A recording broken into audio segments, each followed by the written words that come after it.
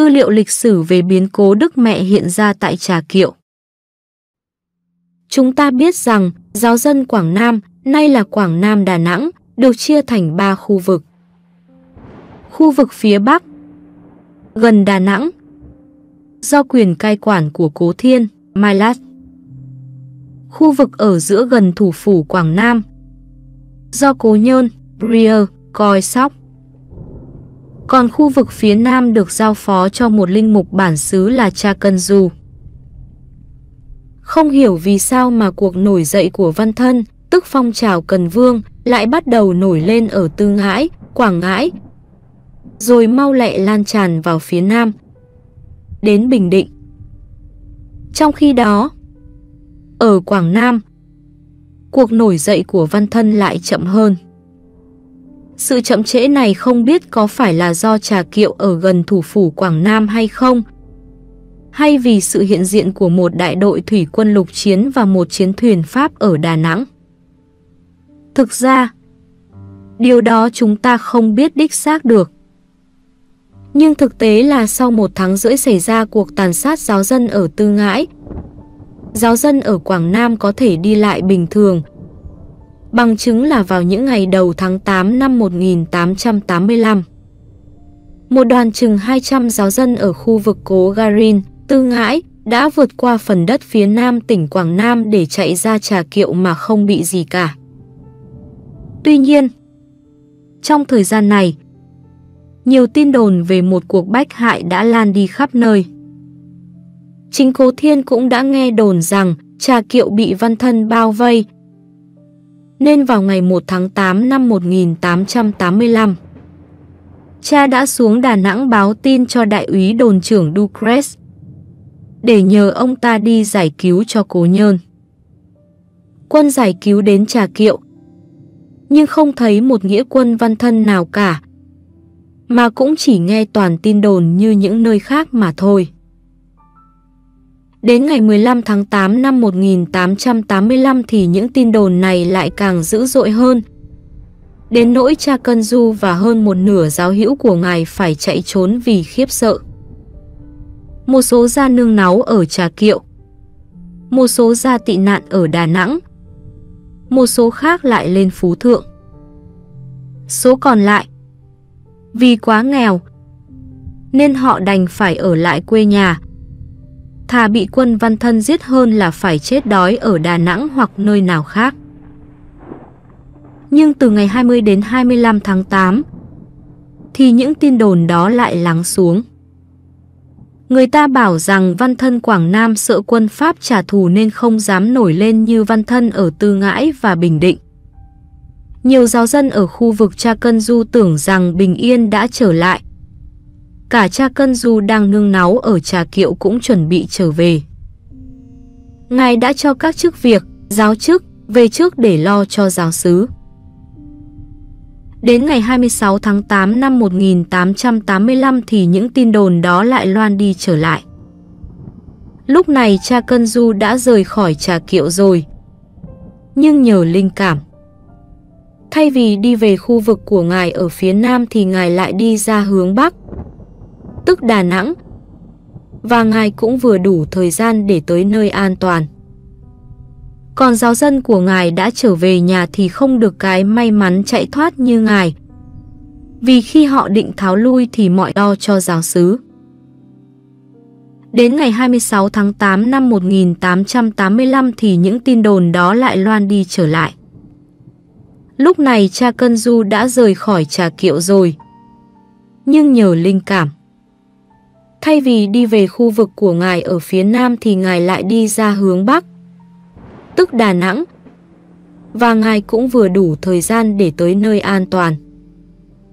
Còn giáo dân của ngài đã trở về nhà thì không được cái may mắn chạy thoát như ngài. Vì khi họ định tháo lui thì mọi ngả đường đã bị ngăn chặn. Họ đã bị tàn sát cùng với số giáo dân không thể đi lánh nạn được. Số giáo dân bị tàn sát trong dịp này trên 1.000 người, gồm có 650 người ở khu vực Cha Du, 280 người ở khu vực quanh Trà Kiệu và khoảng 100 người ở quanh Phú Thượng. Ngày 31 tháng 8 năm 1885, quân Văn Thân bắt đầu tập trung chiếm cứ khu trung tâm thủ phủ. Tại Quảng Nam, cuộc tàn sát cũng xảy ra một cách thảm khốc như ở Bình Định và các nơi khác. Một vài ngày trước đó, quân Văn Thân đã cử những cựu quan chức đến các vùng công giáo để phỉnh gạt giáo dân bằng cách hứa hẹn bảo đảm an ninh một cách tuyệt đối. Với ý đồ là làm cho người công giáo yên tâm không chạy trốn. Chờ đến ngày đã định, họ có dịp tàn sát cho tận hết. Ông Phó Bảng Nguyễn Duy Hiệu, chỉ huy trưởng quân Văn Thân ở Quảng Nam, đã đến các khu vực công giáo ở phía nam của tỉnh và cố dùng lời lẽ ngon ngọt để lừa phỉnh một số lớn giáo dân.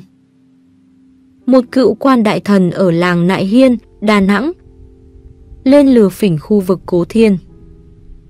Ông ta đến một làng dân bên lương ở gần Phú Thượng và nhắn tin muốn gặp Cố Thiên.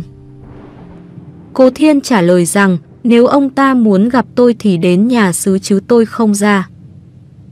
Rồi người ta thấy chính vị cựu quan này đã chỉ huy tấn công Phú Thượng ngày 18 tháng 10 năm 1885 và đã bại trận trong một cuộc kịch chiến tại đèo Lộc Hòa. Còn các quan chức ở tỉnh đường cũng cam kết với thiếu tá Gonek về sự trung thành của họ đối với Pháp Quốc. Cũng như xin bảo đảm cuộc sống bình thường cho người công giáo bằng cách quyết tâm lãnh đạo phong trào văn thân, và giữ vững an ninh trật tự. Vì tin những lời lừa gạt đó mà vị thừa sai đã bị sai lầm và mất cảnh giác về việc muốn hòa bình phải chuẩn bị chiến tranh.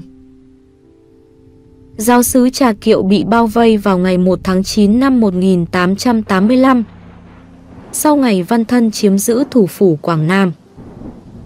Trà Kiệu lúc bấy giờ chưa có chuẩn bị tự vệ. Vì cố nhơn, Greer nghĩ rằng trận chiến sẽ không khủng khiếp hơn trận chiến ở Trung Sơn. Từ ngãi Ở đó chỉ có 800 đến 900 giáo dân, kể cả người già và trẻ em, mà đã có thể cầm cự với quân văn thân dòng dã hơn một tháng trời. Với trà kiệu, ngài chỉ cần chống cự trong hai hoặc ba ngày để xin quân Pháp đến giải cứu vì đại úy Ducres đã hứa với ngài một cách chắc chắn rằng khi nào ngài bị tấn công, đại úy sẽ lập tức bay vào tiếp cứu ngài. Lời hứa đó cũng được ông ta nhắc lại trong một lá thư gửi cho ngài vào giữa tháng 8. Vì thế, cô nhân một phần hy vọng vào sự cứu viện này. Vì thế, cô nhân một phần hy vọng vào sự cứu viện này nhưng phần lớn là cha hoàn toàn tin cậy vào sự che chở của Đức Trinh Nữ Maria. Cha tin là chỉ có mẹ luôn luôn hiện diện bên cha. Cha cũng còn nghĩ rằng thà ở lại trà kiệu để cầm cự ít ngày còn hơn là đưa giáo dân đi lánh nạn ở bãi cát Đà Nẵng. Không nơi trú ngụ, không lương thực thực phẩm. Giáo sứ trà kiệu có được 4 khẩu súng nạp hậu và mỗi cây chỉ có 10 viên đạn với 5 khẩu súng bắn đá do Cố Thiên nhường lại và một khẩu súng hỏa mai. Thêm vào đó, trong những ngày đồn đại khủng khiếp, giáo dân đã tự rèn một số giáo mác để tự vệ.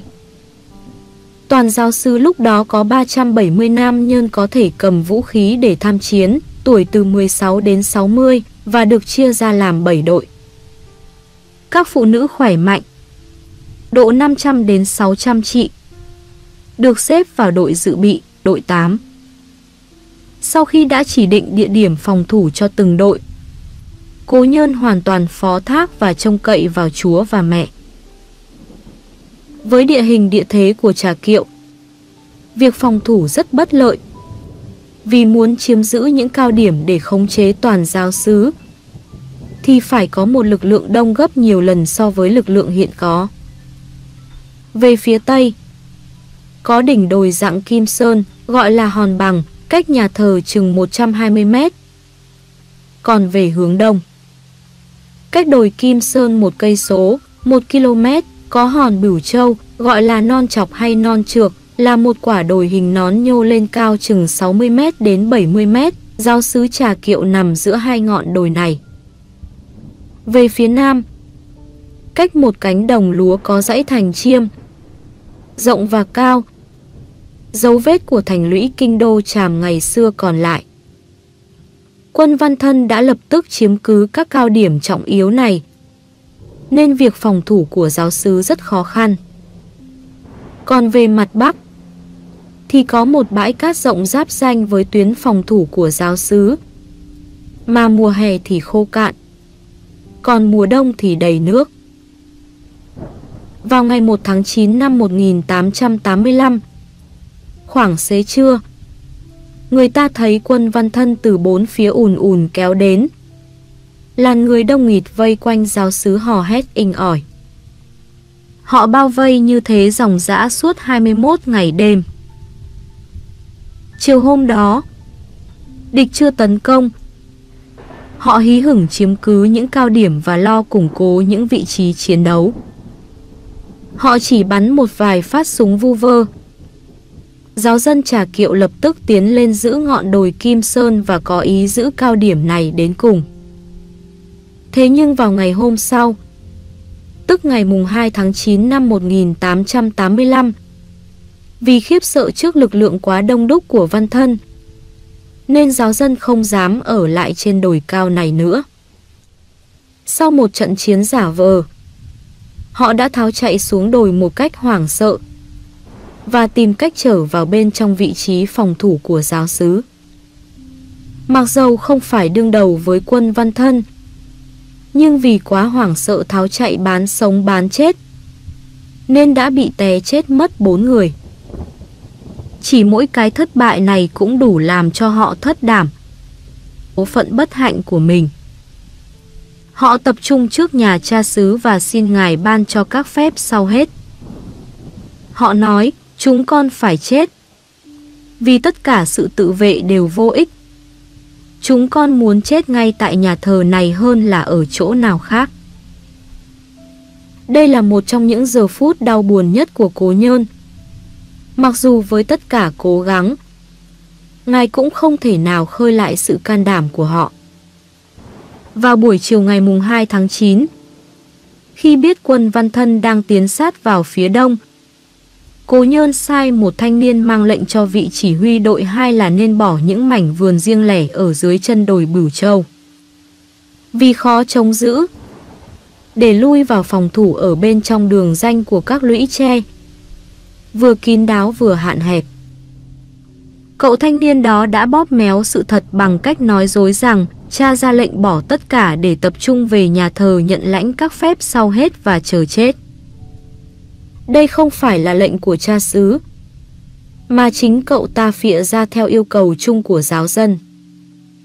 Nhưng may thay, vị chỉ huy đội 2 không tin vào lời phịa này. Và cùng lúc đó ông ta thấy quân văn thân áp sát rất gần. Ông mới ra lệnh cho một giáo dân tự vệ quân bắn vào chúng. Người vệ quân này núp sau một bụi tre. Quan sát rất rõ, nên đã bắn vào toán quân đang kéo khẩu súng đại bác. Người đi đầu ngã xuống. Lập tức những người kéo súng ở phía sau vất súng mà tháo chạy. Đội 2 đã thu được khẩu súng đó. Chiến thắng này cũng không làm cho giáo dân lên tinh thần được. Ban đêm, họ không chịu canh gác mà lui về nhà than khóc hoặc là tập trung về nhà thờ chờ chết không chịu ra chống cự nữa.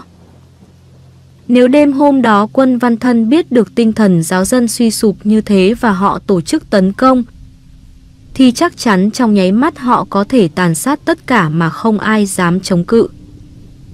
Nhưng may thay, kế hoạch của họ là không tổ chức tấn công ban đêm, vì sợ sẽ có một số người nhờ bóng đêm mà thoát ra ngoài được.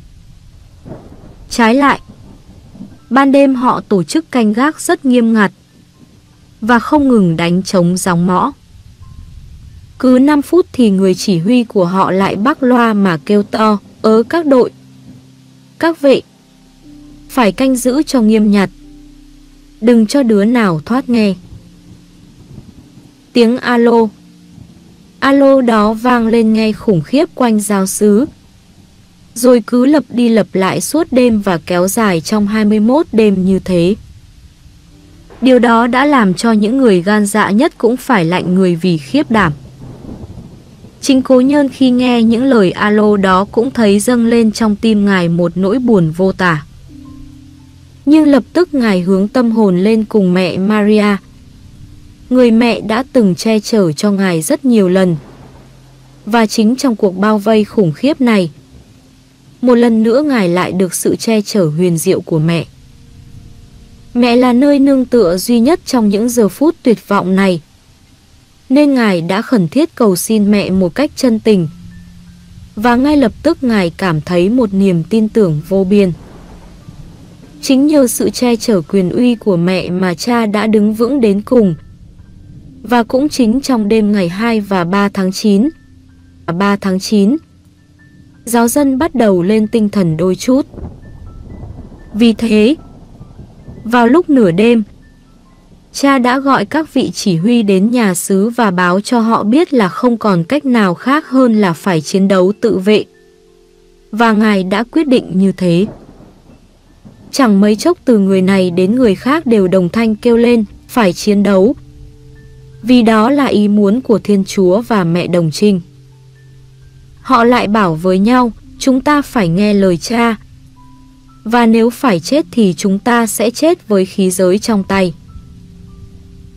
Do vậy mà tối đó, người ta bàn tính chuẩn bị cho trận ác chiến vào ngày mai. Họ lo nấu cơm rất sớm, vì sợ trong ngày không có thì giờ để nấu. Và đúng như thế, ngày 3 tháng 9 hôm đó thật khủng khiếp. Họ phải giao chiến từ sớm tinh sương cho mãi đến chiều tối. Năm lần giao chiến là năm lần địch quân bỏ chạy tán loạn. Nhưng sau trận đánh thứ năm, tuy thắng trận, mà tinh thần giáo dân bị suy sụp. Vì lúc này họ đã quá mỏi mệt và thấy quân văn thân càng lúc càng đông thêm.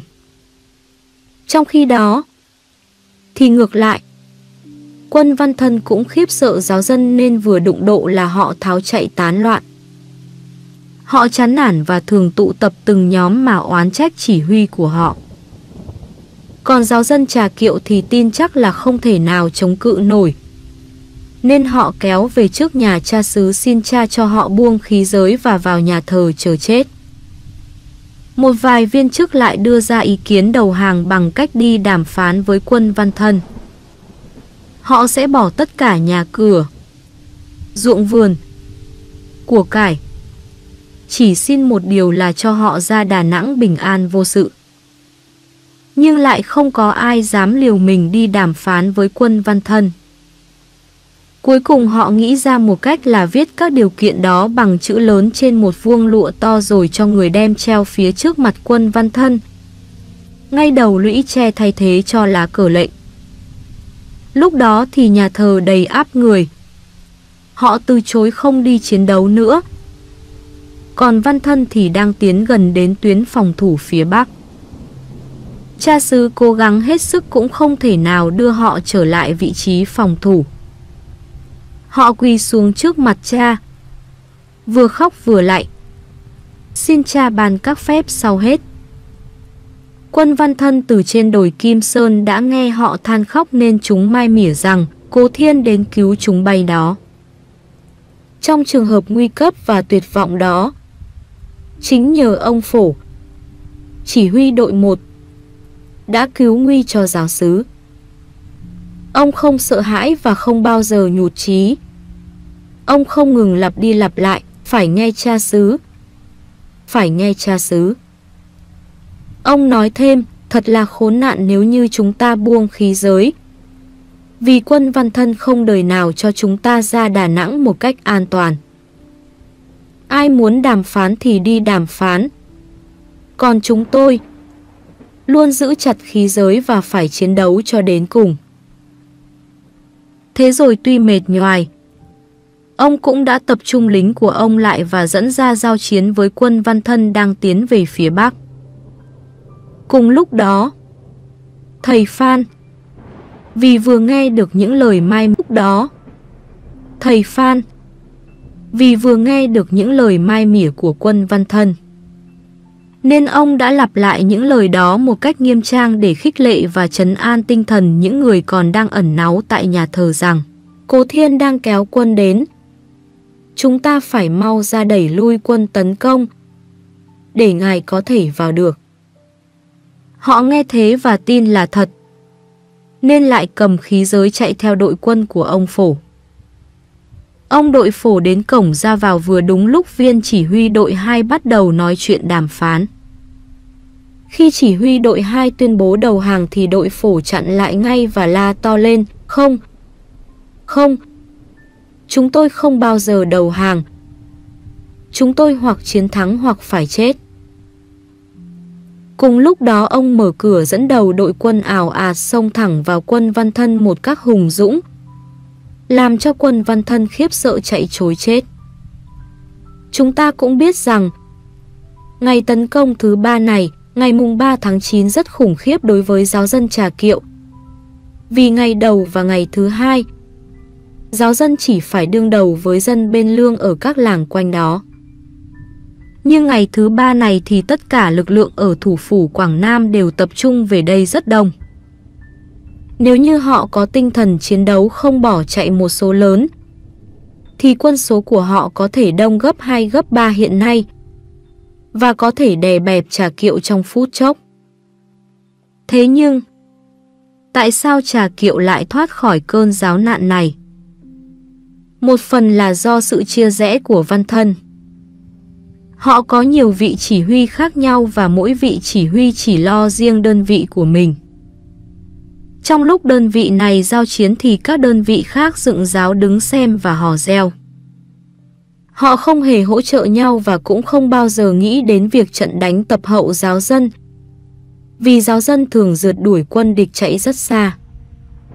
Họ không có kế hoạch tổ chức chung, nghĩa là không có ai chỉ huy tối cao, nên không có vị nào nhường vị nào. Giữa họ chỉ có sự ganh tị chứ không có sự thỏa hiệp với nhau. Ban đêm họ chỉ lo canh gác chứ không tấn công. Và từ hai ngọn đồi họ đặt súng đại bác bắn chừng chừng vào giáo sứ. Và thường bắn vào chỗ có ánh sáng hoặc chỗ có tiếng chó sủa. Ban ngày họ dùng hai ngọn đồi này làm đài quan sát. Nhất là họ cố quan sát để khám phá ra chỗ ở của cố nhơn. Vì thế mà ngài phải cạo râu và cải trang, nhưng cũng không sao tránh được. Ngài luôn bị chúng phát hiện, Tây Dương đạo trưởng. Tây Dương đạo trưởng. Bắn. Bắn. Chúng la lên và lập tức một quả đạn xẹt qua bên tai ngài. Cha quản sứ đã trải qua suốt thời gian bao vây với biết bao nhiêu là đau buồn, thất vọng và cay đắng. Ban ngày, Ngài xuống tuyến phòng thủ của giáo sứ để xem xét những chỗ sơ hở yếu thế và kịp thời chỉ đạo việc chiến đấu. Vào lúc ngưng chiến đấu thì Ngài lo chăm sóc những người đau yếu. Nhà thờ cũng như nhà sứ đều chật cứng. Từ 7 đến 8 ngày nay, cha không thể ăn uống nghỉ ngơi gì được. Nhất là vào ban đêm. Với những tiếng kêu thét khủng khiếp của những tên lính canh, rồi tiếng nổ vang trời. Làm sao cha có thể yên tâm, ngài cũng cố nghỉ một chốc. Nhưng rồi lại chợt giật mình trỗi dậy. Ngài đã nói với tôi rằng, trong suốt những ngày đêm dài vô tận đó, Ngài đã khóc rất nhiều, nhưng thường là khóc vì vui mừng. Trước sự che chở hiển nhiên của mẹ Đồng Trinh, tim Ngài phập phồng nước nở, rồi nước mắt sung sướng cứ giàn giụa. Và sau đó ngài lấy lại được sự bình tĩnh. Ngày 4 tháng 9, giáo dân đã đẩy lùi được hai đợt tấn công, một vào buổi sáng, một vào buổi chiều. Khi quân văn thân tiến sát đến vị trí phòng thủ của giáo sứ được làm bằng tre tươi, thì giáo dân lập tức xông ra và bắt đầu giao chiến không có trận chiến nào kéo dài quá 10 phút. Văn thân tuy quân số đông nhưng sớm mất tinh thần rồi quay lưng chạy thoát. Giáo dân trà kiệu dần dần bạo dạn hơn và thường phóng đuổi theo. Nếu không giết được nhiều quân địch thì cũng thu được một số đại bác. Súng ngắn Do lính đào tẩu bỏ lại để chạy thoát thân. Có khi giáo dân cũng gặp cuộc chống cự mãnh liệt. Giáo mác giao nhau mà không bên nào dám lui giáo để đâm, vì sợ chính mình lại bị đâm trước. Giáo dân đã dùng mưu mẹo. Họ la lên, đổ rồi, đổ rồi.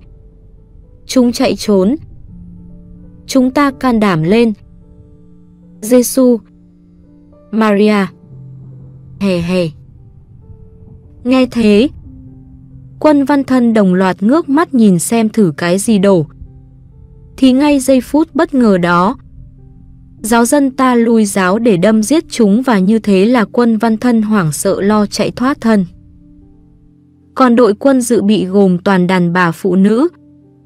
Khi có dịp tham chiến họ cũng nhanh chóng tiếp ứng các cuộc giao tranh.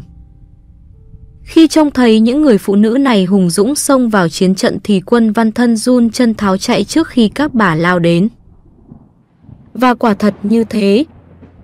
Trông họ có vẻ dũng mãnh. Với mái tóc tung bay sau lưng. Họ nhảy sốc tới. Vung gươm giáo hay dao dựa và kêu lên, hè hè. Giêsu Maria Giuse. Thương chúng con. Che chở chúng con dù bở hơi tai để rượt đuổi quân địch. Nhưng họ vẫn tự hào khi giết được quân giặc họ trở về tạ ơn Đức Mẹ. Từ khi bắt đầu bị bao vây, Cố Nhơn đã đặt một tượng ảnh Đức Mẹ trên cái bàn để ngay giữa nhà cha với hai cây đèn sáp hai bên. Tất cả những lần phải ra trận chống đỡ quân tấn công, giáo dân trà kiệu đều thắp đèn và quỳ cầu nguyện ai không thể đi chiến đấu được. Như già cả và trẻ em. Thi quy lần chuỗi chung với nhau. Và khi quân địch bị đẩy lui thì các chiến sĩ trở về tạ ơn mẹ. Họ quỳ gối trước ảnh mẹ.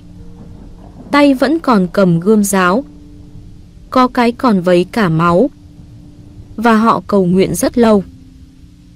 Có khi đang cầu nguyện họ phải gấp rút ra đi để ngăn chặn cuộc tấn công mới nhưng họ không bao giờ quên trở lại để cảm ơn đấng phù trợ cho chiến thắng mới của họ. Lòng tin tưởng dần dần khơi dậy và người ta bắt đầu hy vọng. Họ không còn nhớ đến cái ngày thứ ba, ngày 3 tháng 9 hoàn toàn tuyệt vọng đó nữa.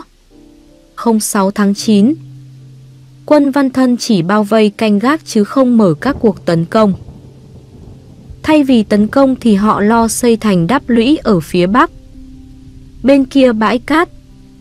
Mục đích là để công cuộc bao vây được nghiêm ngặt hơn. Đề phòng sự trốn thoát ban đêm và đồng thời tạo cho phía giáo dân mất đề cao cảnh giác. Ngoài ra, họ còn có mục đích khác là buộc binh lính của họ phải chiến đấu vì khi bị rào rậu ngăn cản ở sau lưng thì binh lính không thể chạy trốn dễ dàng được. Đã nhiều lần người ta nghe các vị chỉ huy của trách quân lính của họ là khiếp nhược và rối loạn ngay khi vừa đụng độ. Người ta có thể nghe được cuộc đối thoại của họ rõ ràng vì họ đóng quân trên ngọn đồi Kim Sơn rất gần nhà thờ. Khi hàng rào, thành lũy của họ đã làm xong, họ lại tăng cường thêm nhiều trại quân, điếm canh, dọc theo tuyến lũy. Sự việc đó không làm cho giáo dân lo lắng mấy. Nhưng vào chiều ngày thứ 6 ngày 6 tháng 9, khi thấy quân văn thân mang rất nhiều bó rơm dạ đến chất trên bãi cát, giữa hai làn danh phòng thủ, thì giáo dân mới thấy lo ngại. Dọc theo lũy tre phía bắc giáo sứ, từ đồi Kim Sơn đến cồn đất dưới chân hòn non trược, được phủ đầy rơm dạ. Họ có ý muốn đốt lũy tre bao bọc giáo sứ. Thật là nguy hiểm. Cần phải phá hủy số rơm dạ này và không cho chúng đưa rơm dạ đến gần lũy tre phòng thủ của giáo sứ. Do đó, giáo sứ đã quyết định một trận tử chiến vào ngày mai, ngày 7 tháng 9 và mọi người đã chuẩn bị sẵn sàng. Ngày mùng 7 tháng 9 Từ sáng sớm, sau khi đã cầu xin mẹ Maria giúp đỡ và được cha xứ khích lệ tinh thần, giáo dân tiến ra cổng phía bắc. Và ở đó, giáo mác cầm tay, họ chờ lệnh tấn công. Khi cánh cửa vừa mở ra, họ đồng loạt xông vào quân văn thân với một sự dũng mãnh vô song, đồng thời gieo hò chiến đầu. Quân văn thân lập tức chạy đến để đẩy những bó rơm dạ ra đến sát lũy tre. Chỉ huy của họ là cậu Thiên, có lẽ là ông Ích Đường. Con trai tướng ông Ích Khiêm, ông Ích Khiêm đã chống giữ Thuận An với tướng Cua Bét. Qua khiếp sợ trước sự gan dạ của giáo dân, nên đã vượt qua tường rào của chúng để tháo chạy một cách xấu hổ. Và cũng vì ông ta sợ giáo dân đuổi theo, nên sau khi qua khỏi tường rào, ông liền đóng sập cửa lại, bỏ mặc cho số phận của quân lính ông. Quân văn thân bị vướng tường rào phòng thủ của chính họ, nên không thể tháo chạy được, đã bị giáo dân đâm chết rất nhiều. Tiếp đó, giáo dân tiến lên phá hủy rào rộng, doanh trại, điếm canh và thu tất cả chiến lợi phẩm ở trong các doanh trại. Đội quân dự bị phụ nữ, đội 8, được nổi tiếng trong ngày chiến thắng vẻ vang này. Phía giáo dân chỉ có vài người bị thương, còn phía văn thân, người ta không biết chính xác là có bao nhiêu người chết và bị thương, vì họ đã mang rất nhiều thương binh tử sĩ ra khỏi chiến trường. Đến nỗi có một toán viện binh từ phía Bắc kéo đến. Nhưng thật Đến nỗi có một toán viện binh từ phía Bắc kéo đến. Nhưng thấy khiêng thương binh và tử sĩ về quá nhiều, nên họ khiếp sợ mà không dám đến tiếp cứu nữa. Riêng về xác chết bỏ lại chiến trường là 36 xác. Tất cả rào rậu, rơm dạ, doanh trại đều bị giáo dân phóng hỏa đốt sạch. Khói lửa bốc cao, khiến cho nhiều người tin rằng trà kiệu đã bị thiêu hủy. Chắc các bạn cũng có thể cảm nhận được nỗi vui mừng to lớn của giáo dân trà kiệu. Và với tâm tình sốt sắng, họ vội vàng đến tạ ơn Đức Mẹ về chiến thắng vẻ vang của mình như thế nào rồi. Hôm sau, ngày mùng 8 tháng 9, lễ sinh nhật Đức Mẹ, lại là một ngày khủng khiếp nữa. Thánh lễ sáng vừa xong thì được tin quân văn thân tấn công vào hướng Nam. Họ kéo đến rất đông, tràn ngập cả cánh đồng và lũy chiêm thành, nơi giáp danh của giáo sứ. Về phía này cũng như ở phía đông, Cố Nhơn bắt phải bỏ nhiều khu vườn nhà giáo dân để khỏi phải phòng thủ một phạm vi quá rộng lớn. Các điểm phòng thủ ở phía này cũng rất yếu ớt, không như ở phía Bắc. Có lũy che kín đáo, mà chỉ có những rào rậu sơ sài có thể vượt qua một cách dễ dàng. Tuy nhiên, quân văn thân ít tấn công hướng này, có lẽ vì khi tháo chạy thì rất vất vả nguy hiểm. Ở phía Bắc thì không có gì cản trở sự tháo chạy của họ. Trong khi đó ở phía Nam có những cánh đồng lúa sắp chín, muốn chạy qua được đó không phải là chuyện dễ dàng. Nhưng cuộc tấn công hôm nay rất ác liệt. Đến nỗi giáo dân không thể chống cự được ngay trận đụng độ đầu tiên. Đơn vị trách nhiệm phòng thủ phía Nam phải bỏ lần lượt từng mảnh vườn. Từng mảnh vườn. Quân văn thân ồ ạt tiến đến điểm phòng thủ phước viện, nữ tu viện mến thanh giá. Và họ đông không đếm xuể. Cũng lúc đó, từ hai ngọn đồi Kim Sơn và Bửu Châu. Quân văn thân đã không ngừng bắn xối xả vào giáo sứ. Đạn rơi khắp nơi. Cố nhơn chạy ngược chạy xuôi để tìm người cứu viện cho phía nam. Cuối cùng, đội quân dự bị, phụ nữ, danh tiếng cũng phải chuẩn bị hàng ngũ. Tiến đến khu vực ở giữa Phước Viện và Cô Nhi Viện để giáp mặt với quân thủ. Cùng lúc đó, một toán khác âm thầm tiến qua phía tay phải. Sát bờ suối. Quân văn thân giao chiến rất mãnh liệt. Nhưng khi giáo dân đồng loạt tấn công mặt trước và hai bên hông thì chúng chùn chân và rồi tháo chạy tán loạn kể cả những người gọi là gan dạ nhất. Ngày hôm đó, đội quân phụ nữ lại rất xuất sắc và hiển hách vì họ đã thực sự cứu nguy cho giáo sứ. Các bà nói, không có chúng tôi. Tất cả thế là xong. Vì chúng tràn đến quá đông mà các ông không sao chống cự nổi. Còn quân văn thân trận đó thiệt hại rất lớn. Lớn hơn số liệu người ta ghi lúc ban đầu. Bởi vì một tháng sau đó, khi giáo dân đi gặt lúa, họ gặp 14 xác chết còn bỏ lại trong cánh đồng sát chân thành chiêm. Quân văn thân hôm đó rất tức giận vì không thể nào tấn công vào xào huyệt của giáo sứ. Nên từ trên đồi cao Kim Sơn họ chửi bới va văng xuống đủ lời nguyền rủa. Và cũng không ai ngăn cản họ tự tố cáo nhau, tự chê trách mình không can đảm bằng những người phụ nữ công giáo. Nhưng thật bất hạnh cho các tín hữu đáng thương, vì chưa có thể chấm dứt được những khốn đốn của họ. Họ đã làm nên những chiến công phi thường, nhưng họ không sao đạt được sự giải cứu. Sau mỗi trận đánh, nỗi kinh hoàng mà quân văn thân gieo rắc lập tức lại tràn ngập hồn họ. Vòng vây mà họ đã bẻ gãy thì trong chốc lát lại được lập lại. Tuy nhiên, giáo dân cũng biết rõ rằng sự hăng say của văn thân bắt đầu giảm sút, nên cũng vững tin đôi chút. Giáo dân đã nghe chúng nguyền rủa lẫn nhau, phàn nàn chỉ huy của chúng, kêu khóc và thất vọng. Nhất là họ tranh cãi nhau về việc phân chia lương thực không được công bằng. Vì có những vị chỉ huy khác nhau, nên họ cũng chia thành nhiều nhóm riêng rẽ. Nếu có nhóm nào bắt được con bò hay con trâu, thì họ làm tiệc tùng cho riêng nhóm của mình. Trong lúc đó những nhóm khác vẫn phải chịu khổ cực thiếu thốn. Vì thế mà họ lại ghen tị, nguyên rủa nhau. Nước uống cũng thiếu trầm trọng, không bao giờ và không thể nào mang đến cho đầy đủ. Vì vậy, ngay với chính họ cũng đã bất mãn với nhau và rất dễ đưa đến hành vi chống đối. Trong những trận giao tranh, thay vì chiến thắng, họ đã chiến bại. Đại bác, súng hỏa mai, cũng không giúp gì nhiều mà có khi còn gây nguy hại nữa.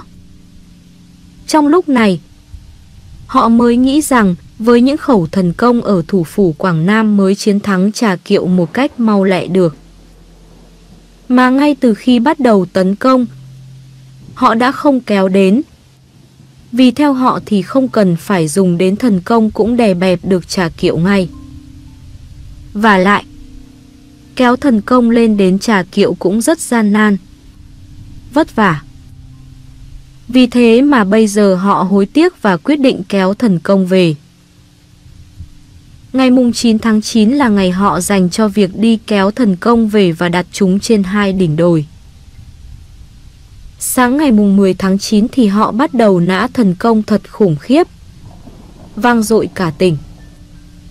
Ở Phú Thượng, cách Trà Kiệu 40 km, giáo dân nghe nổ rất kinh hoàng.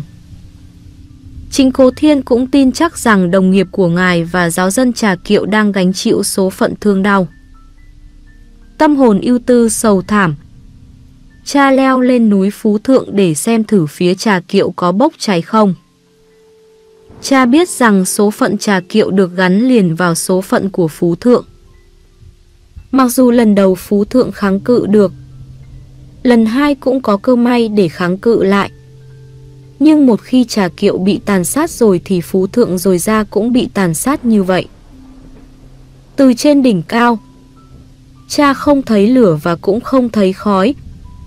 Nhưng tiếng súng thần công thì rất khủng khiếp. Đến nỗi cha không thể nào tin được trà kiệu có thể chống cự nổi. Khắp nơi, kể cả Đà Nẵng nữa, khi nghe những tiếng nổ khủng khiếp đó, người ta bàn tán xôn xao là úa. Trà kiệu không hề hấn gì, vẫn đứng vững và kháng cự anh dũng lại sự điên cuồng của quân văn thân. Thần công của chúng được đặt trên hai ngọn đồi, Kim Sơn và Bửu Châu, và chủ yếu là bắn vào nhà thờ. Nhưng đạn lại đi từ đồi này qua đồi kia, giết hại chính quân của họ. Đúng ra thì với số đạn mà người ta đã bắn có thể giảm nát cả khu nhà thờ ra. Nhưng thật lạ lùng, nhà thờ không hề hấn gì cả. Ngoài nhà thờ ra, họ còn nhắm bắn phá nhà nguyện của Phước Viện và nhà cha xứ. Quân văn thân đã biết rõ cha xứ thường ngồi tại một chiếc bàn đặt ngay giữa nhà, và chính nơi đây đã bị năm quả đạn đại bác, từ đầu này đến đầu kia. Ngọn đèn treo ở phía trên bàn của ngài bị bể tan. Những bức điêu khắc và tranh ảnh treo ở vách ngăn ở phía sau bị phá hủy. Rách nát. Có lúc ở trên đồi, quân văn thân đã gieo hò chiến thắng. Chúng kêu lên, Tây Dương đã chết. Tây Dương đã bị giết. Nghe thế, cha xứ bước ra ngoài mái hiên và nói lên với chúng, không dễ gì giết được tôi. Các ông xuống đây đọ sức với tôi thì sẽ biết. Cha nói vừa dứt lời thì một quả đạn bay vèo đâm vào cây cột sát bên cạnh ngài. Biết rằng cha xứ là linh hồn của cuộc chống cự nên văn thân tìm mọi cách. Với bất cứ giá nào, cũng phải giết cho được cha xứ. Một phần thưởng rất lớn, từ 20 đến 30 nén bạc, tương đương 1.800 đến 2.000 quan pháp, cho ai bắt sống hoặc giết được ngài. Ba lần ngài bị bắt hụt. Ban đêm quân văn thân lợi dụng bóng tối thâm nhập vào giáo sứ và len lỏi đến gần nhà cha. Khi gặp ngài, chúng cố bắt sống, nhưng nhờ sự nhiệt tình của giáo dân nên ngài được cứu thoát. Tất cả những tình tiết cảm động này Bây giờ cha Breer, cố nhơn, kể lại với một giọng điệu vui vui. Nhưng chắc lúc đó ngài không thể cười được. Sau những trận đại pháo, ngài lại rời khỏi nhà xứ để đi chăm sóc các bệnh nhân và tìm chỗ nghỉ ngơi cho những người bị thương đang nằm ở nhà thờ. Và cũng rất may ngày hôm đó không có trận giao tranh nào cả. Quân Văn Thân đang tập trung quan sát thành quả những trận đại pháo vừa qua, nhưng họ sững sờ khi trông thấy mọi nơi đều y nguyên. Mặc dù họ đã dốc hết sức, nhưng tất cả hãy còn đứng vững. Trong các cổ đại pháo, có một khẩu đường kính rất lớn và được đặt rất gần, khoảng 100 mét. Nhưng chỉ bắn trúng nhà thờ có một quả và trúng vào cái hoa thị nhỏ ở phía sau bàn thờ. Còn những quả đạn khác lại đi quá cao nhưng đó không phải vì nhắm không chính xác. Xã thủ là một quan chức rất quen sử dụng đại bác. Hắn ta đã thú nhận sau đó rằng muốn nhắm một bà đẹp mặc đồ trắng đứng trên nóc nhà thờ. Mà tất cả đều đi quá cao. Trừ có một quả. Suốt ngày hôm đó và cả ngày hôm sau, quân văn thân trên đồi Kim Sơn không ngừng kêu lên, thật lạ lùng, có một người đàn bà luôn đứng trên nóc nhà thờ. Bà rất đẹp mà ta không sao bắn chúng. Phải chăng ta rất đẹp mà ta không sao bắn chúng? Phải chăng đó là một phép lạ tỏ tường của Đức Mẹ? Phải chăng Đức Mẹ đã che chở cho mọi người đang ẩn náu trong thánh đường được dâng hiến cho trái tim vẹn sạch của mẹ? Tôi không dám loan báo một sự việc quan trọng như thế, mà tôi chỉ xác tín rằng quân văn thân trong suốt hai ngày liền. Họ không ngừng lập đi lập lại rằng họ thấy một người đàn bà đứng trên nóc nhà thờ. Khi thì họ nói với sự kính trọng và gọi bà là một bà đẹp mặc đồ trắng. Khi thì họ tức giận, nguyền rủa, văng tục, vì không sao bắn chúng bà. Giáo dân khi nghe họ nói thế cũng cố nhìn lên nóc nhà thờ, cả cha xứ nữa. Nhưng không ai được thấy. Và lại, tại đây không phải chỉ có một dấu lạ như thế, mà người ta cũng đã nghe đến nhiều dấu lạ tương tự. Tôi muốn nói đến đạo quân trẻ em, một đạo quân mặc áo trắng hay đỏ, tiến đến như một đạo quân hùng dũng, chống lại với văn thân.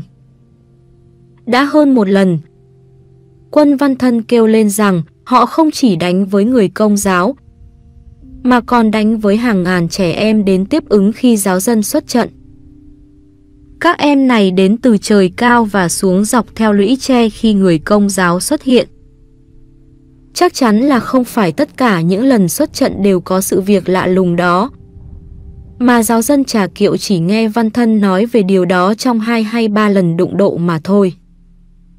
Cho dù đó có phải là phép lạ hay không, nhưng đối với đồng đạo đáng thương của chúng ta, khi đó là dấu chỉ lòng xót thương của Thiên Chúa đối với họ.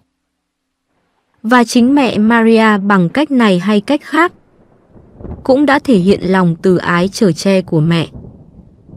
Và chúng ta tin chắc rằng nếu Chúa cho phép những cơn thử thách ghê gớm như thế, thì Ngài cũng có quyền không cho phép tận diệt con cái của Ngài.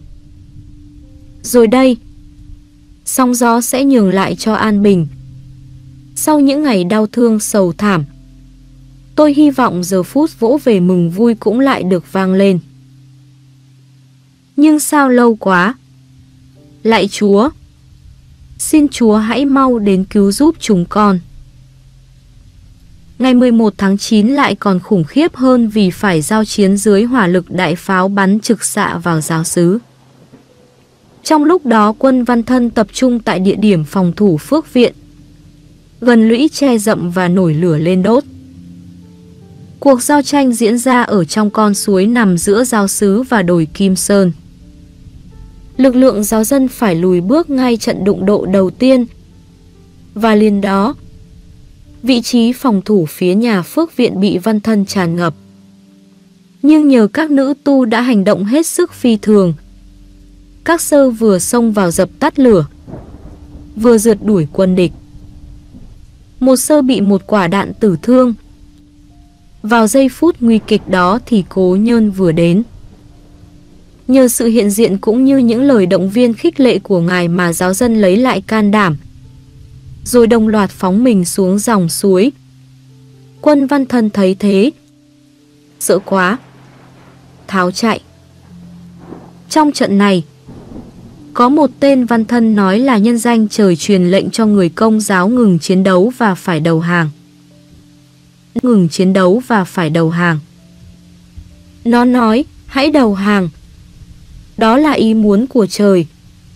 Khốn cho các ngươi. Nếu các ngươi còn kháng cự. Nói nói vừa dứt. Có một giáo dân phóng về phía nó và đâm cho nó một giáo đang khi nó cố trèo lên bờ suối phía bên kia. Nó bị giết cùng với bốn tên nữa cũng đang bị vướng mắc trong các bụi tre. Xác của chúng bỏ lại đó cho đến ngày chấm dứt cuộc chiến, làm hôi thối cả một vùng. Tuy thắng trận, nhưng nỗi lo lắng lớn nhất của cố nhơn là sợ thần công ở đồi Kim Sơn bắn sập thánh đường. Nếu thánh đường bị sụp đổ thì điều đó sẽ mang lại một hậu quả thật khủng khiếp về mặt tâm lý, giáo dân sẽ mất tinh thần, mất can đảm. Và như thế là hết. Tất cả sẽ bị hủy diệt. Thánh đường còn thì niềm tin còn. Thánh đường có 8 cây cột bằng gạch chống đỡ. Nếu một quả đạn làm gãy mất một cây cột, lập tức nhà thờ sẽ bị đổ nhào ngay. Vì thế mà cha mới táo bạo quyết định tiến chiếm đồi Kim Sơn. Cha muốn ban lệnh tấn công ngay. Các vị chỉ huy đều im lặng, vì họ sợ khó mà thực hiện được. Đây là khu tổng hành dinh của quân Văn Thân, lại ở trên một quả đồi cao. Bên dưới có rào rậu kiên cố. Một lúc sau, họ mới xin cha đợi đến sáng ngày mai, trước khi mặt trời mọc. Quân văn thân sẽ lơ là canh gác. Chúng ta bất ngờ leo lên mở đợt tấn công. Như vậy mới có cơ may thành công được. Cha nghe theo ý kiến tuyệt vời đó và quyết định sẽ tấn công vào lúc 3 giờ 30 phút sáng hôm sau. Suốt đêm đó, tâm hồn cha nặng trĩu âu lo. Cha luôn lắng nghe động tĩnh và hồi hộp chờ đợi giờ đã định. Vào khoảng nửa đêm, từ phía bên kia bờ suối, một giọng nói khàn khàn gọi các giáo dân. Cha cùng với một vài người nữa đến sát bên bờ suối để nghe cho rõ hơn. Và cha đã nghe rõ ràng rằng, hỡi giáo dân, hãy qua bên bờ suối này mà lấy đại bác của chúng tôi, để chúng tôi không còn bị buộc phải giữ chúng nữa. Chúng tôi quá mệt mỏi với trận chiến này rồi, và chúng tôi không muốn gì khác hơn là quay về nhà. Nếu các ông không qua lấy, chúng tôi sẽ ném chúng xuống suối. Một giờ sau, người ta nghe một tiếng động mạnh giống như một vật gì nặng rơi xuống nước. Cái gì vậy? Không ai biết. Những khẩu đại bác đó cũng không thấy ở dưới suối và cũng không có tại chỗ họ bắn hôm qua. Khoảng 3 giờ, Cố Nhơn đi báo thức các chiến sĩ để chuẩn bị tấn công. Khi họ bắt đầu vượt qua con suối thì cha quay trở lại nhà xứ và tìm một nơi để có thể quan sát họ trèo lên đồi. Bóng đêm còn bao phủ cả quả đồi nên không thể thấy gì cả. Cha chỉ biết chờ đợi. Cha quá sốt ruột không biết họ đang làm gì. Đến đâu rồi? Và tại sao lâu vậy? Vì lẽ ra giờ này họ phải phá hủy tường rào của chúng. Trong khi đó thì các chiến sĩ ta không dám chặt cây quá mạnh vì sợ đánh thức. Tất cả chúng đang cột búi tóc và nhìn về hướng cố nhơn.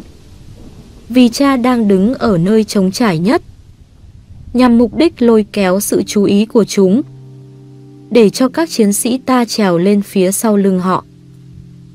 Nhưng sau đó thì quân văn thân ở phía bên kia đồi phát hiện được và kêu lên khiến chúng quay lại nhìn.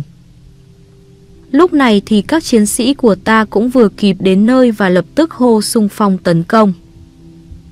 Các chiến sĩ ta đã giết được vài tên. Số còn lại tháo chạy. Ta hoàn toàn chiếm cứ đồi Kim Sơn và thu được bốn khẩu đại bác, năm súng nhỏ và chục súng trường. Sau đó, ta châm lửa đốt doanh trại của chúng. Ngày 12 tháng 9 là ngày rất vui mừng. Niềm tin được tăng lên. Nhưng chưa phải là hết. Thật vậy. Quân văn thân bị mất hồn. Nên từ đồi Bửu Châu, non chọc. Cả ngày hôm đó lẫn ngày hôm sau họ không bắn lấy một phát đạn đại bác. Tuy nhiên, họ vẫn bao vây giáo sứ cẩn mật. Nếu họ không tìm cách lấy lại đồi Kim Sơn mà họ đã để mất, thì họ lại không ngừng canh gác ở phía đồi bên kia, non trược, để ngăn chặn không cho giáo dân liên lạc với bên ngoài. Mục đích của họ là giam đói cho đến cùng, vì nếu không chiến thắng bằng vũ khí thì ít ra cũng chiến thắng bằng đói khát. Và quả như thế, giáo sứ bắt đầu thiếu lương thực, ngay cả lương thực của cố nhơn cũng hầu như đã cạn. Vì ngài phải nuôi một đoàn giáo dân đến lánh nạn ở đó mà họ chả có mang được gì đến. Thật nguy khó. Người ta chỉ còn trông cậy vào Chúa. Người ta hy vọng vào Đức Maria là đấng không bỏ họ trong những ngày chịu đựng lâu dài này. Khắp nơi trong tỉnh phải khiếp vía vì những loạt đại bác khủng khiếp trong hai ngày trước. Họ tin rằng trả kiệu thế là xong. Quân văn thân hỉ hả loan tin thắng trận và ca hát tưng bừng. Chúng đe dọa sẽ kéo ra Đà Nẵng. Để che đậy sự thất bại, chúng tấn công Phú Thượng. Nhưng Cố Thiên đã chống cự mãnh liệt, khiến chúng lại kéo về Trà Kiệu. Lần này đứng đầu là một cựu đô đốc, ông trưởng Thủy Tý. Chúng nhờ đến cái thiên tài quân sự của ông để tận diệt những thằng công giáo quỷ quái một lần cuối cho xong. Vì thế vào ngày 14 tháng 9, người ta thấy chúng tiến đến phía cánh Nam Đông vô số kể. Từ sáng sớm, Cố Nhơn đã lên đồi Kim Sơn để quan sát các hoạt động của quân văn thân. Ngài không khỏi sửng sốt khi thấy tất cả cánh đồng phía nam tràn ngập những đạo quân đang tiến về phía giao sứ. Trong khi vừa hò hét, vừa đánh trống. Ngài vội vả leo xuống để ban lệnh chuẩn bị một trận phản công. Ngài vừa về đến giữa đội quân của mình thì quân văn thân đã chiếm dãy thành chiêm và bắt đầu dựng nên một hàng rào chuẩn bị cho trận chiến. Họ rất vội vàng, và một hàng rào đã được dựng lên một cách mau lẹ lạ thường. Cố Nhơn thấy rất nguy hiểm nếu để cho họ xây dựng và củng cố vị trí ngay trên thành chiêm này. Vì đây là cạnh sườn của giáo sứ. Ngài quyết định phải tấn công ngay. Về phía đông, đội quân thứ ba sẽ tiến lên đầu dãy thành chiêm, nơi mà chúng đông. Đội quân thứ ba sẽ tiến lên đầu dãy thành chiêm, nơi mà chúng chưa tràn tới, để từ đó có thể dồn lui quân văn thân, hoặc đánh tan chúng ở cánh đồng phía bên kia. Một phần của đội quân dự bị, đội 8, được tăng cường đến giúp đội 3. Trong khi đó, một phần quân dự bị còn lại giúp cho đội một tấn công mặt trước. Người ta tin chắc là sắp xảy ra một trận giao tranh ác liệt và ai cũng chuẩn bị chiến đấu một cách dũng cảm. Nhưng thật ngạc nhiên, quân văn thân bắt đầu quay lui trước khi các chiến sĩ của ta tiến đến. Ông trưởng thủy tý kêu ầm lên và rất vất vả để ngăn chặn chúng lại. Nhưng chúng không dám đứng lại và bỏ mặc một mình ông, với khoảng 10 người bảo vệ cho ông. Khi thấy giáo dân tiến đến gần, chính ông cũng phải bỏ chạy nhưng quá muộn. Hai thanh niên trà kiệu rượt theo. Toán cận vệ của ông cũng bỏ ông mà chạy thoát thân. Khi thấy bị đuổi kịp thì ông quay lại xin hai thanh niên đó tha cho được sống. Hai thanh niên bảo với ông rằng nếu mày muốn sống, chắc mày đã không đem sự chết đến cho chúng tao. Ở đây không có sự dung tha. Nói rồi họ đâm ông, lấy thanh kiếm và cắt đầu ông mang về. Chắc người ta sẽ nghĩ rằng điều đó thật hung ác, không theo đúng quy luật tù binh, chiến trận. Ôi những người giáo hữu đáng thương! Đối với họ, thì người ta có giữ luật lệ gì đâu. Dù trẻ hay già, đàn ông hay đàn bà, bất cứ ở đâu trong tỉnh, tất cả đều bị người ta bắt và dẫn đến trà kiệu để treo cổ trước sự chứng kiến của cha mẹ họ. Dù đó là hung ác, nhưng tôi không muốn bỏ qua đoạn này vì muốn kể lại tất cả mọi việc. Ngày hôm đó, lần đầu tiên người ta thấy một con voi xuất hiện trong đội quân văn thân. Giáo dân chưa biết phải làm gì để đối phó với loại tấn công mới này, nên hết sức lo lắng, nhất là đối với phụ nữ. Họ do dự không dám tham chiến. Bấy giờ, có một thanh niên sung phong đi đuổi nó. Cậu ta nói, cho tôi một bó đuốc cháy, và các anh sẽ thấy nó quay lưng lập tức. Đúng vậy. Với bó đuốc cháy rực, cậu ta tấn công. Voi run sợ bỏ chạy dù cho thằng này cố mà giữ nó lại. Cậu ta đuổi theo đâm vào sườn nó, nhưng không đủ sức để đâm thủng được. Thằng này ngã xuống lùi trốn vào bụi rậm rồi vắt giò mà chạy chối chết. Từ đó, người ta không lo ngại voi nữa. Mặc dù trong hai trận sau đó, họ cũng có đưa voi tham chiến, nhưng không thể chiến đấu với giáo dân được. Ngày 15 tháng 9, không có trận đánh nào. Quân Văn Thân tập trung củng cố lực lượng ở phía đông chung quanh đồi non chọc dưới chân đồi non chọc. Ở phía bên kia thuộc phần đất của dân bên lương, có một nơi đóng quân chính của quân văn thân. Đó chính là đình làng ngũ xã. Mái lợp ngói, tường xây gạch, xinh xinh. Ở đó còn xây gạch, xinh xinh. Ở đó còn có hai hay ba ngôi chùa, một tăng viện, cũng đều xây bằng gạch, lợp ngói. Khi bị rượt đuổi khỏi đồi Kim Sơn, quân văn thân đã chọn nơi này làm bản doanh chính của họ và họ bắt đầu củng cố để có nơi ẩn núp khi bị đột kích bất ngờ. Súng thần công của họ đặt trên đồi non chọc để bắn vào giáo sứ, nhưng đều thất bại. Nên từ đó họ ít bắn vào nhà thờ, nhà cửa, mà lại nhằm bắn vào người. Đại bác bắn đạn ria, sắt vụn. Một phát có chừng 80 đến 100 viên đạn ria, được bọc trong một các giỏ mây và khi rơi xuống sẽ tung tóe ra chung quanh. Một lần cố nhơn núp sau một bụi tre, thì bị chọn một quả đạn ria này, giống như một cơn mưa đạn. Thoạt đầu, cha nghĩ là chết thôi, và theo bản năng tự nhiên, cha đưa tay giờ khắp thân thể và cha không thể tin là mình còn sống và không hề hấn gì. Ôi các giáo hữu đáng thương! Họ thoát được cuộc bao vây và tấn công này và không bị giết. Chắc chắn đó là họ được Đức Mẹ Đồng Trinh che chở cách riêng. Nhưng chúng ta phải tiếp tục theo dõi, vì chúng ta chưa biết được kết quả cuối cùng của cuộc bao vây tấn công này. Ngày 16 tháng 9 có 3 trận giao chiến. Hai trận diễn ra ở bãi cát phía Bắc. Quân Văn Thân thích chọn phía này làm bãi chiến trường, vì ở đây không có gì cản trở sự tháo chạy của Văn Thân.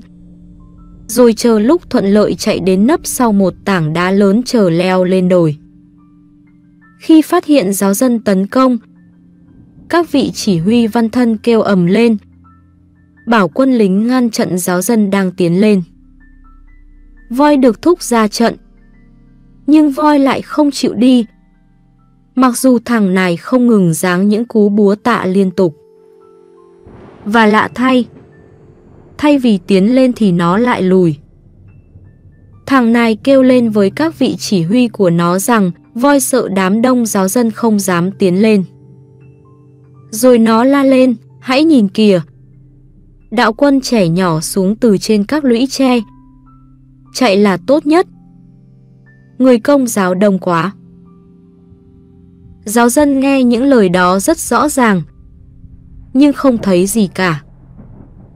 Cuối cùng thì một trong 10 thanh niên đội 4 đã leo lên được trên ngọn đồi và tìm cách bắn một phát súng vào tên lính đang canh gác trên đỉnh đồi. Một trong những người chỉ huy ngã xuống, những tên còn lại vội vàng tháo chạy. Giáo dân lợi dụng thời cơ tiến lên đỉnh đồi trước sự run sợ của quân văn thân và chúng đã tháo chạy xa từ 15 km đến 20 km mới dám ngừng lại vì sợ người công giáo rượt theo. Khi trà kiệu được giải vây thì lập tức các đình làng, chùa chiền, tu viện Phật giáo đều bị đốt cháy. Tin giáo dân trà kiệu chiến thắng loan đi khắp vùng, làm cho dân ngoại bắt đầu lo sợ một cuộc báo thù. Trong danh trại văn thân, giáo dân tìm được ba khẩu đại bác, một vài khẩu súng nhỏ, nhiều nhất là thuốc súng và quân nhu. Khi tìm kiếm ở đây, thấy rất ít lúa gạo. Thời giờ, giáo dân liền chạy đến truy tìm. Và quả đúng thế. Ở đây họ tìm thấy một số lượng gạo rất lớn. Suốt ngày hôm đó, giáo dân lo vận chuyển lương thực về giáo xứ. Đến chiều, khi mọi việc đã xong xuôi, với tinh thần vui mừng hớn hở, họ kéo về tạ ơn Chúa. Đức Mẹ, các thiên thần đã tham dự vào cuộc chiến giúp họ tâm hồn tràn ngập niềm vui khôn tả. Thay vì phải chết đói, hay chết trong vòng vây của quân thù, thì bây giờ họ đã được cứu sống, đã chiến thắng hoàn toàn. Cuộc bao vây tấn công kéo dài 21 ngày đêm. Giáo sứ Trà Kiệu mất đi 15 nam nhân và 25 người bị chết do tạc đạn bên ngoài cuộc giao chiến. Về tổn thất của quân văn thân thì không thể nào biết chính xác được. Nhưng có thể nói mà không sợ lầm là số tử thương lên trên 300 người.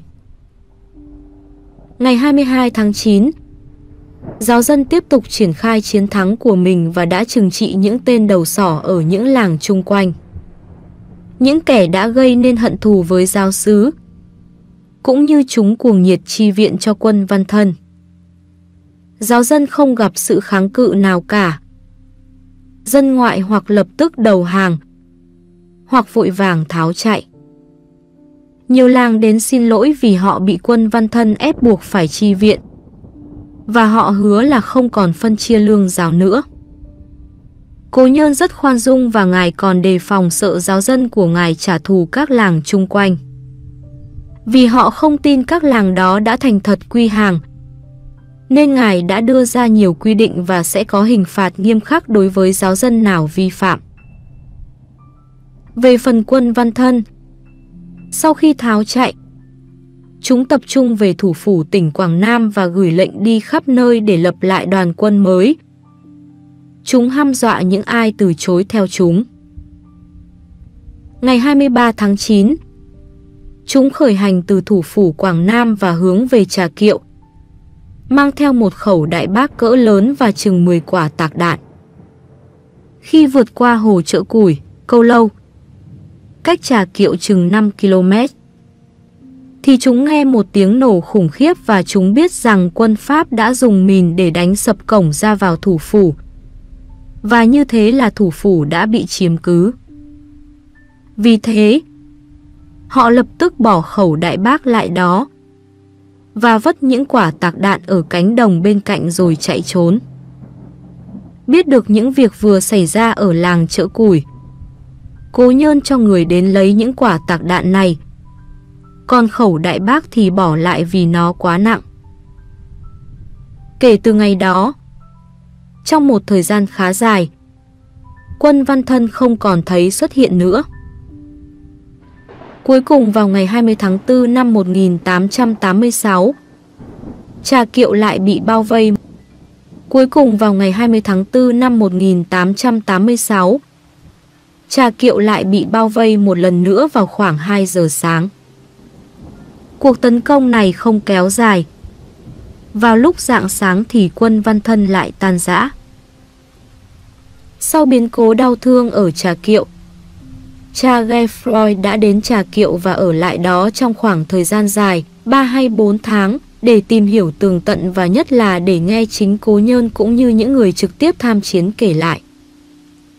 Vì thế mà ngài đã ghi lại rất tỉ mỉ và đầy đủ suốt 21 ngày đêm bị bao vây tấn công và ghi từng ngày một.